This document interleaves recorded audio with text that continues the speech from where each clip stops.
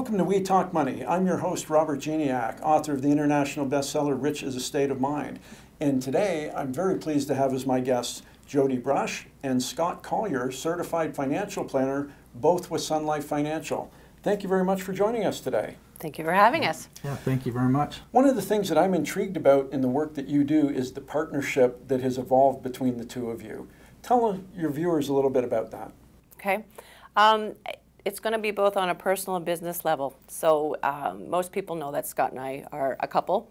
We've got eight children and two grandchildren between the wow. two of us. Um, and then business-wise, the evolution came. Um, Scott's in his 18th year with Sun Life Financial, as you mentioned, certified financial planner, wealth of knowledge. So I really won the lottery when he decided to return to an advisor role. And so together, uh, working as advisors, we are um, getting out into the, the community and sharing our, our knowledge and, and expertise. And are there specific locations that you serve and the clients that you support, where are they located? Well, originally it was the Essex County, so Windsor, Harrow, Kingsville, because we're both um, county raised individuals.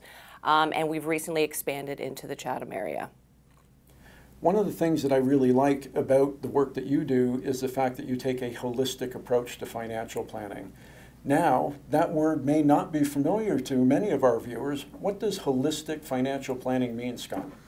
From our perspective, it's really looking at the broad financial picture for a client. So, not product specific or not one component of financial planning, but the whole comprehensive aspects of planning.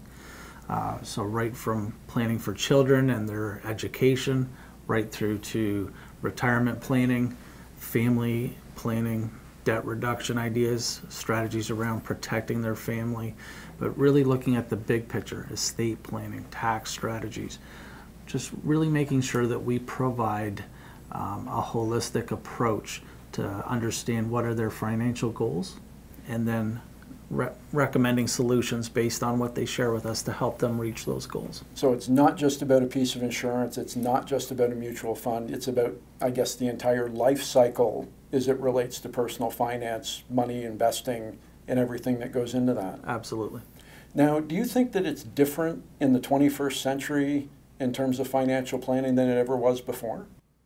Absolutely. Um, we've we've done a few workshops where we've shared some information with people about uh, the three paradigm shift. Okay. Um, we've got baby boomers who are now entering into that retirement phase. Some are already in that phase. Um, everything they touch changes. Our healthcare system has changed, will change. Um, it becomes a math problem. There's too many and not enough at the same time, so the government's not going to be able to take care of us in the, in the future. On top of that, as much as advancement is fantastic, um, you know, medically, the advancements we've seen have saved lives across the world, which is wonderful. The problem that that indirectly creates, though, is we're living longer. So if you're planning to retire at 65 and you thought maybe a life expectancy was shorter, but really you're going to live to be 95, how likely are you, you know, how, what's your risk tolerance for running out of money before you run out of life? So those types of things are, are, are ideas that people need to be aware of, um, and they need to rethink some of their retirement strategies. I think that's an interesting concept, running out of money before you run out of time, and it's where I would like to continue our discussion right after this short break.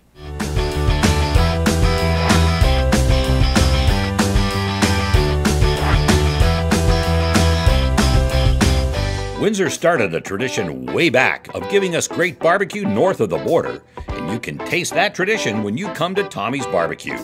Dive into Tommy's rotisserie style ribs and chicken, along with the crinkle cut fries, coleslaw, and the original hot and sweet sauces. Plus, all those amazing desserts like Black Forest cake and strawberry cheesecake. Taste the tradition and so much more at Tommy's Barbecue, 999 Erie Street East. See you there, Windsor!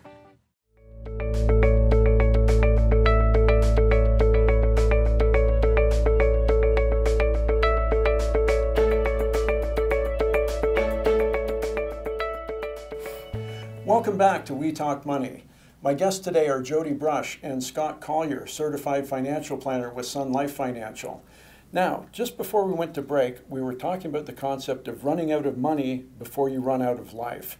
What does that mean to the Canadians?